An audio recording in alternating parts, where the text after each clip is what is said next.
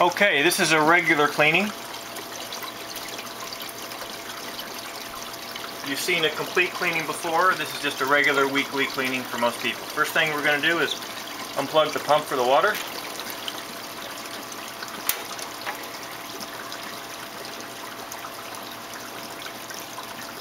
And uh, if you have a flexible drain, you can tilt up one end of the scrubber and help it drain a little bit. But mine is uh, got a hard pipe PVC on it, so I can't tilt it up. So we'll let it drain for a second. And unscrew the union on the screen.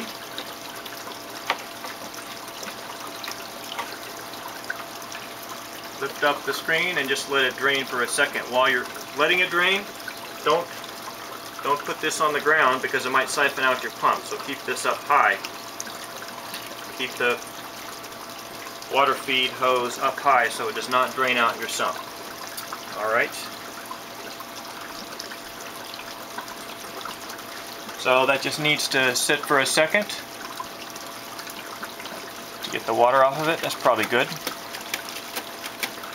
Alright, so let's just get that out of the way for now.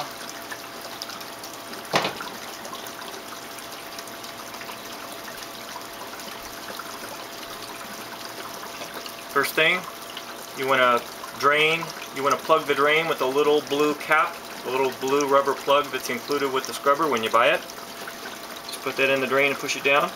You don't have to do this, but it does keep anything from going into your sump. Okay? And then just, I like to just do this and just get the algae. There's not much compared to the way it was on some of my other videos because I'm not feeding a lot right now. I was doing some other things. So this just comes out pretty quick. I like to just put it into the cup. There's actually very little algae right now. Of course I have two of these scrubbers running and I, I had all my, my feeding turned off for a while the last couple weeks doing some other stuff, so not very much here at all. Um, the included turkey baster is good to get the water out. And actually, before you get the water out, you can use a toothbrush and just clean the window.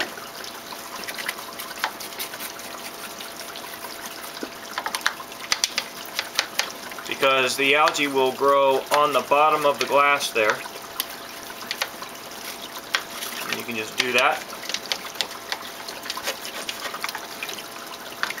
This is certainly not a complete cleaning where you would put some vinegar in the bottom and whatever and let it soak to clean off the carbonate buildup. But this is just a regular, like I said, a weekly cleaning. Okay, so that's pretty much that. And you can use a towel or whatever. I like to use the little squeeze bulb sometimes to get some of the extra water off the bottom.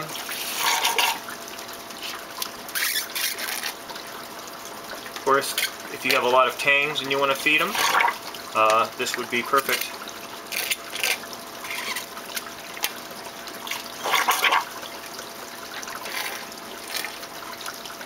Of course, if you can tilt up your scrubber, again, like I said, that would make this really quick, but I've got now a PVC drain on there and I don't want to be cracking it, so.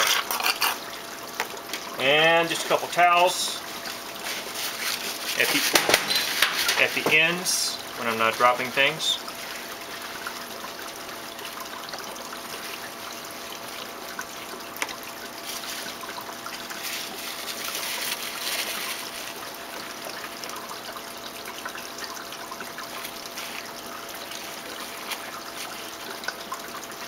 It's always great to have the cup nearby.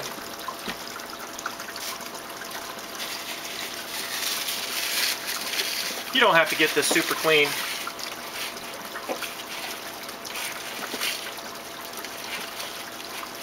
Especially if you have tangs and whatnot who would like this. But uh, if you are just starting your filtering, you'll want to get it as clean as clean as you can because the cleaner it is, the more filtering it does. Alright, so that's the box.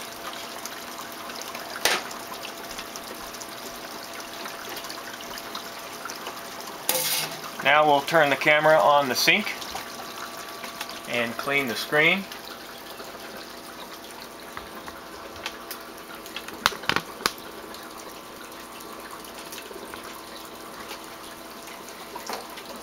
Just gonna clip the two tie wraps here.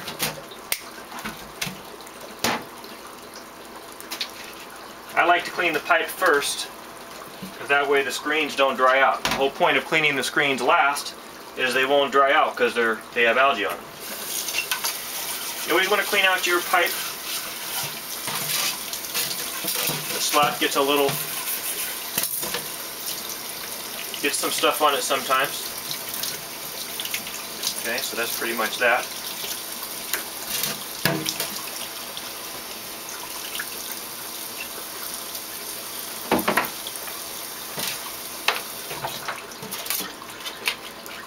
Unlike the complete cleaning I did where I had to get the turf algae off, this has not had time to, you know, many months to grow turf algae, so it's just filled in all with green. So this is just a hacksaw blade, but I'm using this the the side that's not cutting.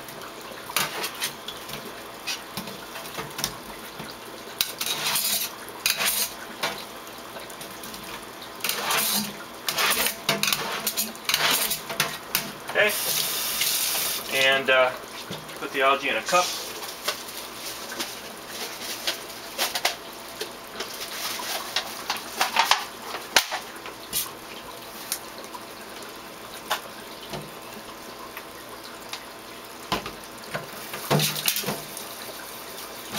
And uh, that's pretty much it. Just get it off the slot up here.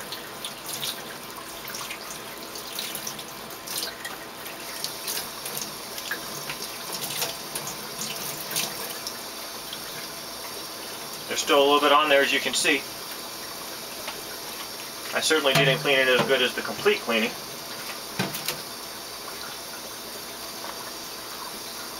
So here's some turf algae growing here. It's going to start getting thicker, and as it gets thicker, the green algae is not going to be able to hold on.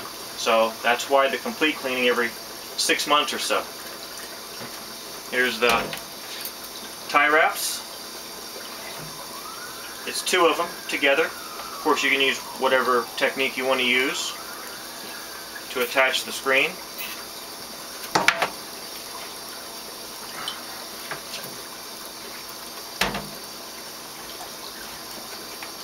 But when you buy it from me, they include these tie wraps.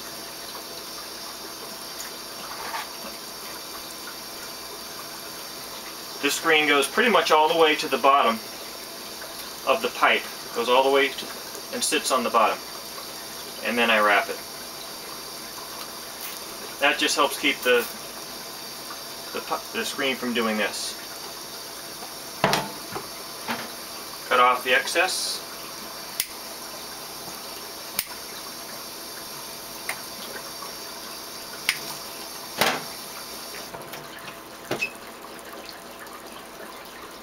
Okay, and I'll set this in the box and then turn the camera again.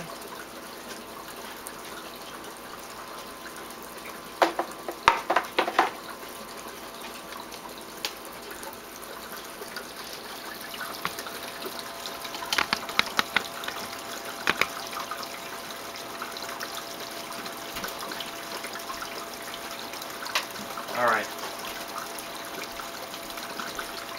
And uh, always want to check for the plug.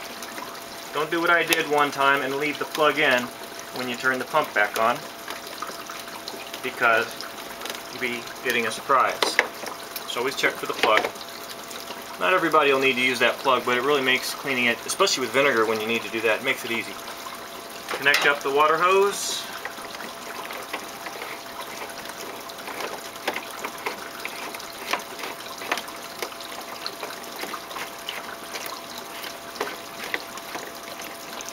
And uh, when you tighten down the hose, set it in there and let it go and see if the screen's in the right spot.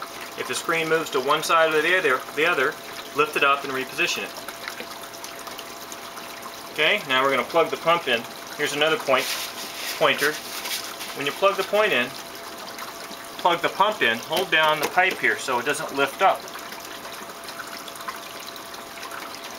The pressure may want to kick it up and then it'll let go and go flying off. So just hold that down. Double check to make sure your blue plug is not in the drain. You don't want that to be forgotten in the drain.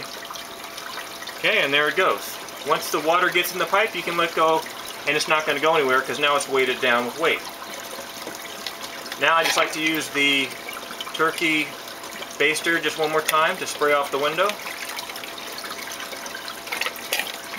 Give it a quick run down with the brush. Be good for another week. On this side also.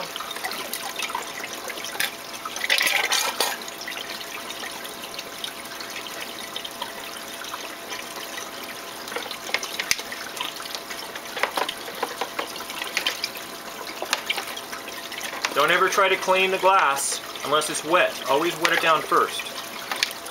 That's why the turkey baster works really good. It pretty much sprays everything off that you need to have sprayed off.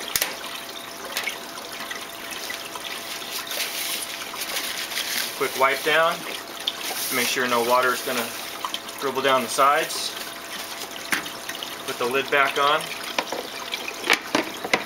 And that's your regular weekly cleaning every seven days or thereabouts.